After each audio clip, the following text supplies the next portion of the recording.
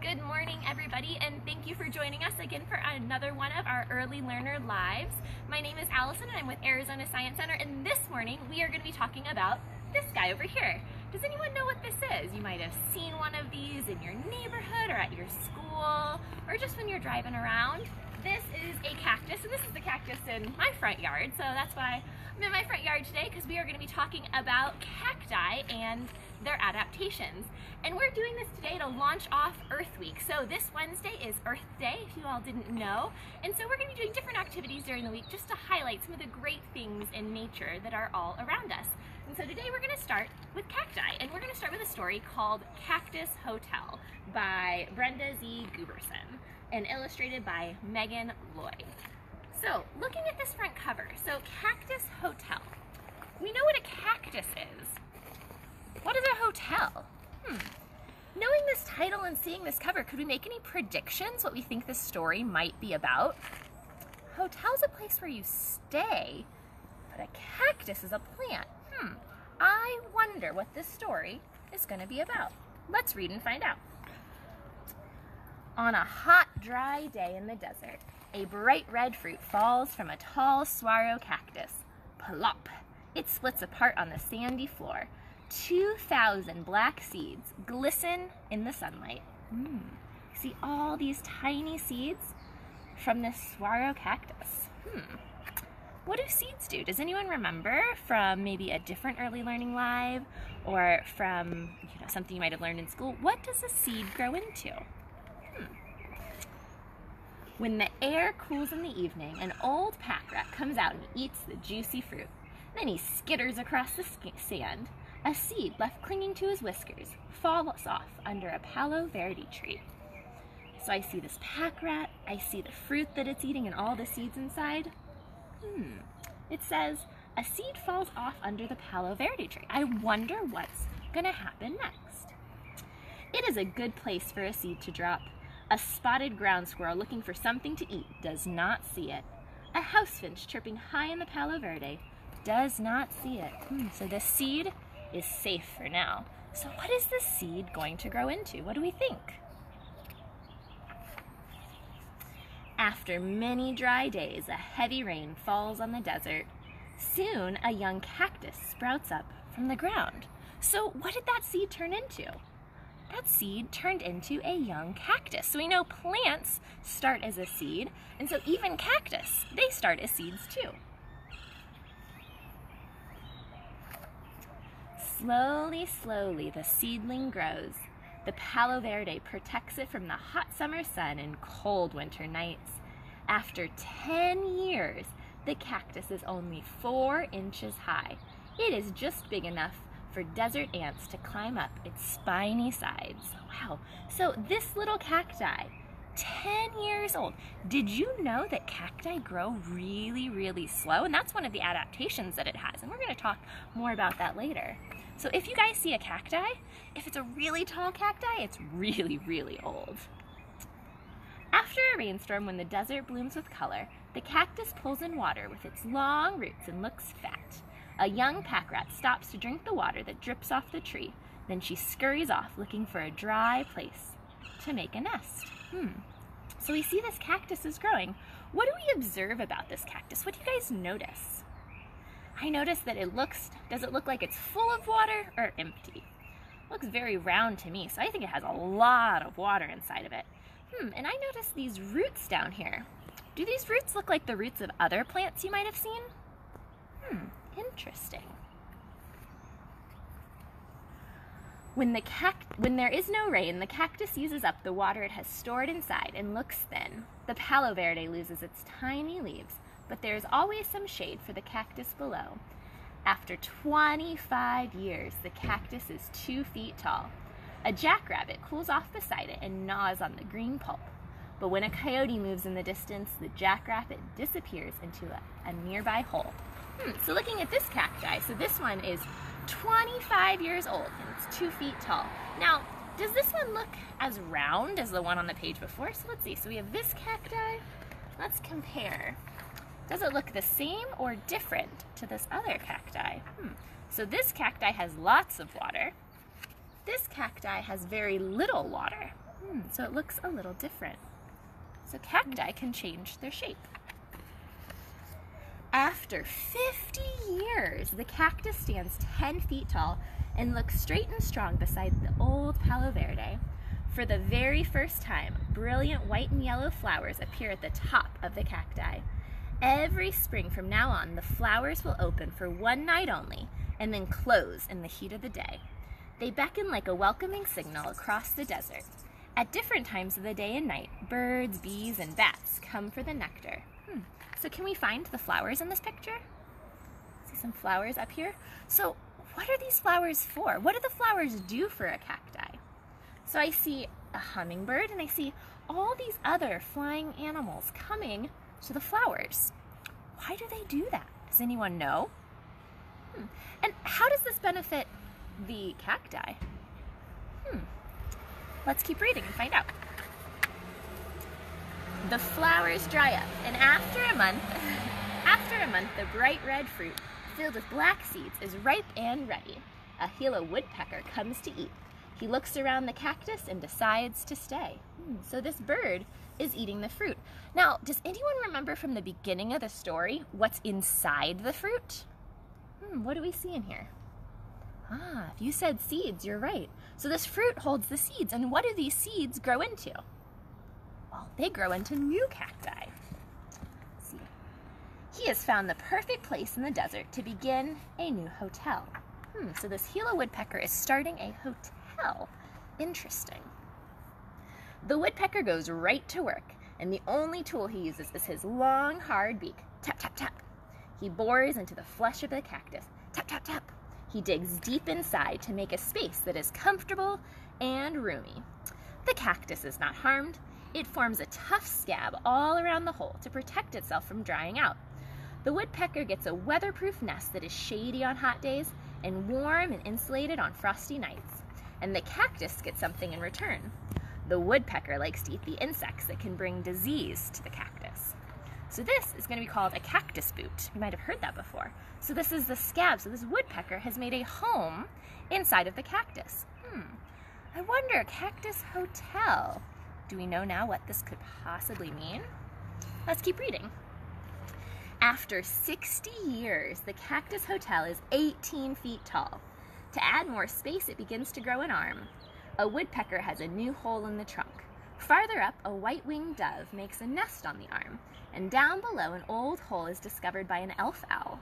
The birds feel safe living high up in the prickly plant where nothing can reach them. Hmm, so we started with one animal living in this cactus. Now how many animals are living? We have the owl, the woodpecker, and a dove. So now we have three animals living in this cactus. Hmm, and look, they, they're pretty safe. What are they safe from down here? You see this coyote? They're safe up in the cactus. All around the desert, there are holes of every size for ants and mice, lizards and snakes, rabbits and foxes. After 150 years, there are holes of every size in the cactus too. The giant plant has finally stopped growing. It is 50 feet tall with seven long branches. It weighs eight tons that's about as much as five automobiles. So a cactus that is 50 feet tall weighs as much as five cars. That's crazy. And look, do we notice, do we observe this cactus hotel now? Do we see the holes that all these animals could live in? Are the holes only in the cactus or do you see them other places too? Hmm. I notice there's holes all over the desert where animals can live. Why might animals need to live in a hole? Think about the desert, it's really hot, right? So this is gonna be how they stay nice and cool. Everybody wants to live in the Cactus Hotel. Birds lay eggs and pack rats raise their young. Even insects and bats live there.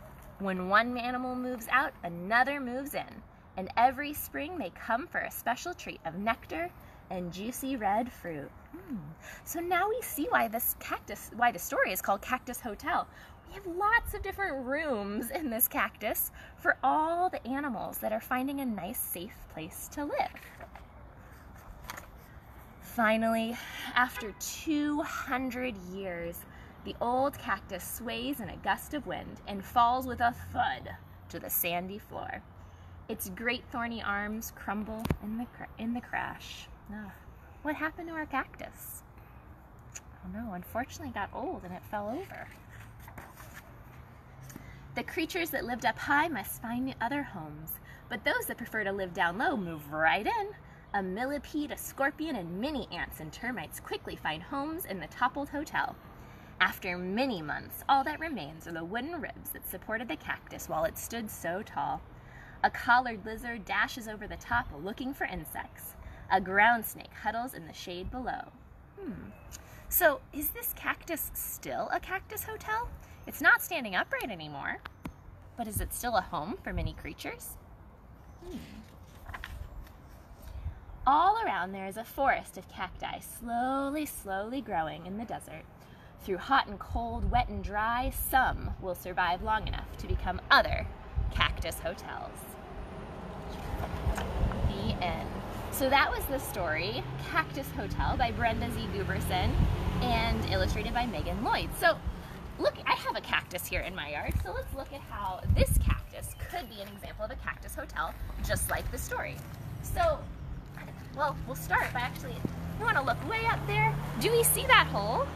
So my cactus actually is a cactus hotel as well, because this cacti has a cactus boot up there, and it's home for many animals. I've seen some birds, and if you notice, there's also a bird's nest. So I do have some cacti living in my cactus in the front. I have some animals living in the cacti in my front yard. So cacti all over can become a cactus hotel. Now, if we think about this cacti and we look at it, you know, cacti, do they live everywhere? Do they live in the rainforest? Do they live in, you know, wet places? Not so much. They're most likely found in the desert, like our Sonoran Desert. So one of the reasons why is they have all these really great adaptations that help them survive in the desert. So if we look at this cacti, and I even drew one out to help us kind of picture some of the parts, we remember those roots. So cacti's roots are often horizontal to help them stay stable and help them collect water. They often have two long roots, which are going to be tap roots that go deep down. Now, we can't see those on this cacti, but we do have some adaptations that we can see. So if we notice the cacti skin, now the skin of this cacti, is it porous? So does it have lots of holes? No, it's very smooth and kind of waxy. So this waxy skin is gonna help the cacti store water. And we see on this cacti, I'm not gonna touch them because I don't wanna get poked, these spines. So these spines are gonna help in lots of ways. What do we think? How could spines help this cactus? Now, these beautiful spines can help you might have said protect from animals trying to eat it, which is totally correct. They also help prevent water loss. So if you think about leaves on a tree, leaves lose lots of water through a process called transpiration, and these spines don't do this, so it's gonna help retain water. And then when the rain falls on this cacti, these spines are gonna help direct the water to the stem, or direct the water to the stem of the cactus to go down to its roots. So these spines are really helpful for the cacti. Now, do we see any leaves on this cacti? Do you see any leaves here? Nope, so those spines are gonna really kind of take the place of those leaves. Now, we have our spines, we have no leaves, the stem, so this big part is gonna store all the water. And from the book, we remember how sometimes it's big and plump, and sometimes it's nice and skitty. So these pleats actually allow it to expand a little to absorb and store more water. It's also very slow to grow, which means it's not gonna use a ton of energy. So looking at this cactus, we can see all these great adaptations. So what you can do at home is you can create a model of a cacti using some of these adaptations and using some things that you find around your home. So there's one other thing I was gonna show you. So I actually do have some cactus seeds. So these are gonna be some of the seeds that fell off my cactus. So the seeds all look a little different. This is kind of dried up in the sun, but I thought I'd show you all because I thought it was pretty neat. If you find some of these, you can see that they were uh, cactus seeds. They're remnants of flowers, so they're pretty neat. So going back to the model that you guys can make. So if we think about all the adaptations that this cactus has, you could create a model of a super cactus. So a cactus that has every adaptation that it needs. And you can even get creative, creative and think about what other adaptations could cacti have to help them survive even better in the desert. So this is gonna be my model of a cacti. So I wanted to make sure it has some roots represented. So these are my pipe cleaners. Then I have my one long taproot, which is my straw, so it can drink water from deep in the earth. I colored it green. Now, why would cacti, why would it be useful for cacti to be green? Hmm. Well, helps them blend in. It also helps so they have chlorophyll, just like leaves would. So we have the cacti, colored mine green. I have my spines. Now I wanted lots and lots of spines on my cacti model, so I have all my toothpicks because I wanted to make sure it was really well protected. I have my flower on the top to make sure it gets pollinated. And I have on the inside a sponge, which is gonna represent how it absorbs all the water. So this is how I made my model of the adaptations that a cactus has. Now this is something you can do at home with any materials you had. You could use a recycled water bottle for the stem, you could use paper, you could use the whole thing, you could just draw it out. But it's really fun to think about how cacti survive in our desert and how you can create a model of its really cool adaptations. Now, something else you can also do is go outside, walk around your neighborhood, see how many different types of cacti there are. This is just one example of a type of cacti, but there are other kinds. You can kind of see in the background behind me, there's an ocotillo over there. Now that ocotillo is a different type of desert plant, and it's gonna have, you know, some similar adaptations, but that ocotillo actually has little leaves. So as you walk around and explore, find as many desert plants as you can, and see what adaptations do you notice that might help them survive in the desert. So thank you all for watching this morning, launching, kicking off Earth Week. Uh, this is Allison from Arizona Science Center. If you like this, we're here every morning at 9.30 a.m. for our Early Learner Lives. We have demos at 1 p.m. and you can check out azscience.org for more resources. Thank you all. Have a great Monday.